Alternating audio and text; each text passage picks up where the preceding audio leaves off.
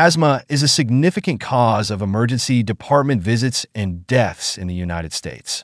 Each year, it accounts for over 2 million emergency department visits and between 5,000 to 6,000 deaths.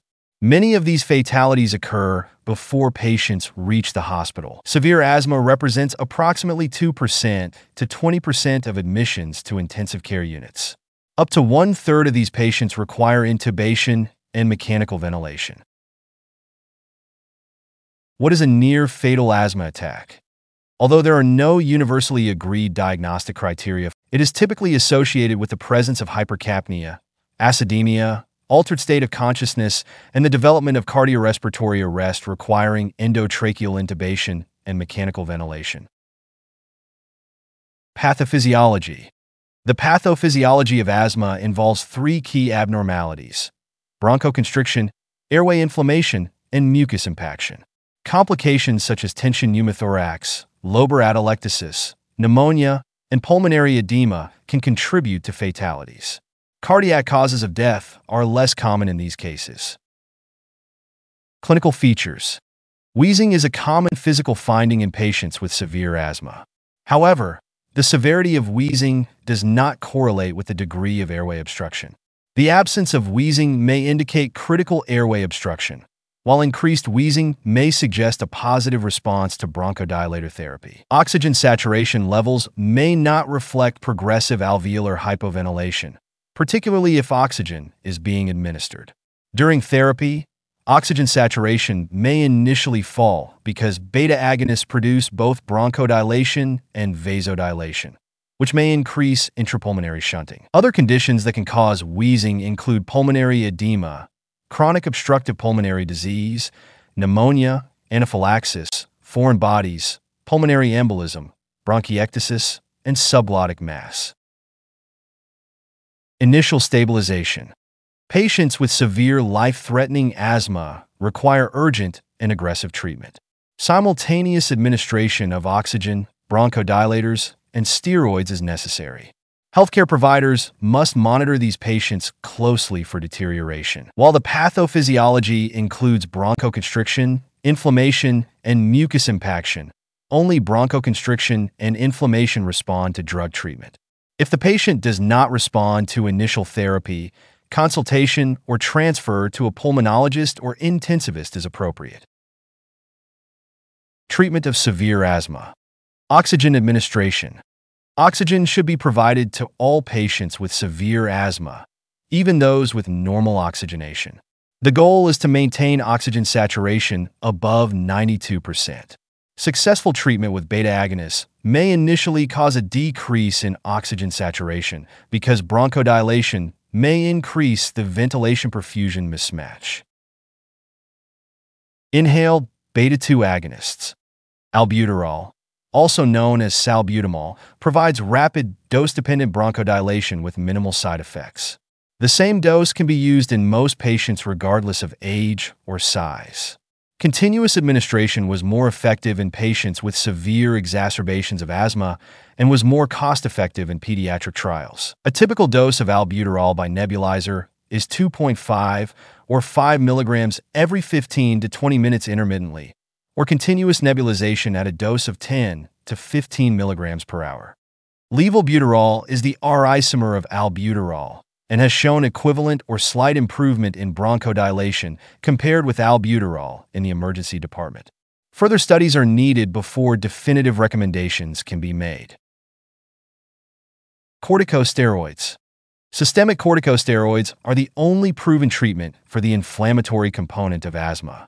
The onset of their anti-inflammatory effects occurs 6 to 12 hours after administration.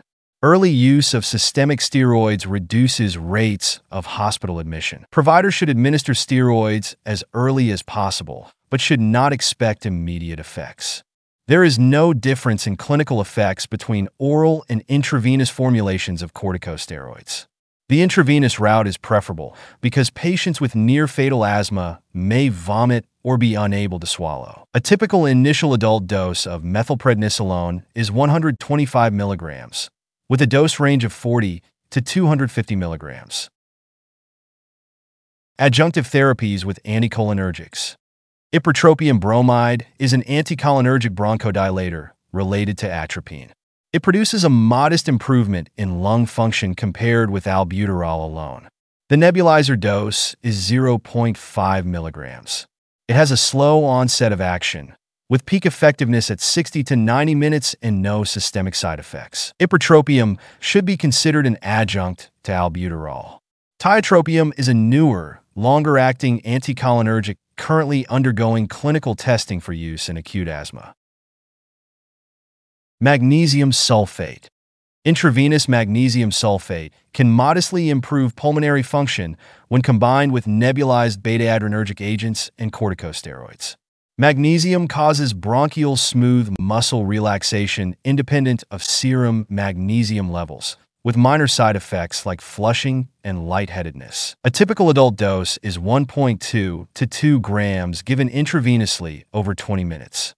Nebulized magnesium sulfate also improved pulmonary function during acute asthma, but did not reduce the rate of hospitalization. Epinephrine and terbutaline are adrenergic agents that can be given subcutaneously to patients with acute severe asthma.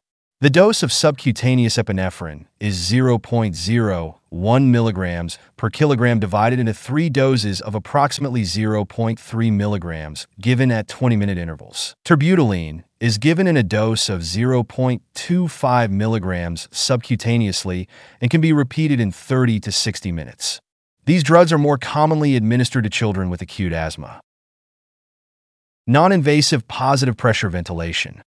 Non-invasive positive pressure ventilation may offer short-term support to patients with acute respiratory failure and may delay or eliminate the need for endotracheal intubation. This therapy requires an alert patient with adequate spontaneous respiratory effort. Bilevel positive airway pressure allows for separate control of inspiratory and expiratory pressures. Endotracheal intubation with mechanical ventilation. Endotracheal intubation does not solve the problem of small airway constriction in patients with severe asthma.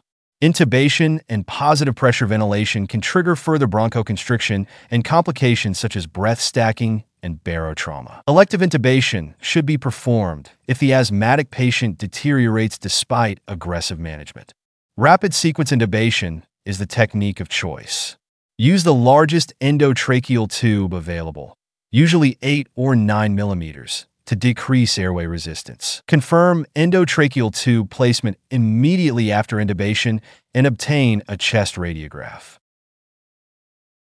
Troubleshooting after intubation. When severe bronchoconstriction is present, breath stacking can develop during positive pressure ventilation, leading to complications such as hyperinflation, tension pneumothorax, and hypotension. Use a slower respiratory rate of 6 to 10 breaths per minute with smaller tidal volumes of 6 to 8 milliliters per kilogram, shorter inspiratory time, and longer expiratory time. Mild hypoventilation reduces the risk of barotrauma. Sedation is often required to optimize ventilation and minimize barotrauma after intubation. Continue to administer inhaled albuterol treatments through the endotracheal tube. Four common causes of acute deterioration in any intubated patient are recalled by the mnemonic DOPE. Tube displacement, tube obstruction, pneumothorax, and equipment failure. Verify endotracheal tube position. Eliminate tube obstruction. Rule out or decompress a pneumothorax and check the ventilator circuit for leaks or malfunction. Cardiac arrest in the asthmatic patient. When the asthmatic patient experiences cardiac arrest, there is inadequate evidence to recommend for or against the use of Heliox during cardiac arrest. There is insufficient evidence to recommend compression of the chest wall to relieve gas trapping if dynamic hyperinflation occurs. Summary when treating patients with severe asthma, providers should closely monitor patients to detect further deterioration or development of complications. When there is no improvement and intubation is required, these patients require the care of experienced providers in an intensive care setting. Some tertiary centers can offer experimental therapies as a last resort, and transfer should be considered for patients with near fatal asthma that is refractory to aggressive medical management.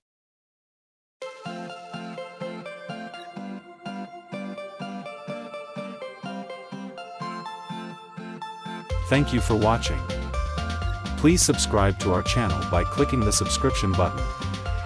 If you have any questions, feel free to leave a comment below in the comments section.